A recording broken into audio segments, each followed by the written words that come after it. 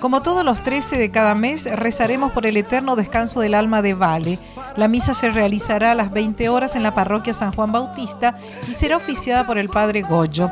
Agradecemos la presencia, como así también las intenciones solicitadas en otras iglesias. Que Dios te ha llamado, para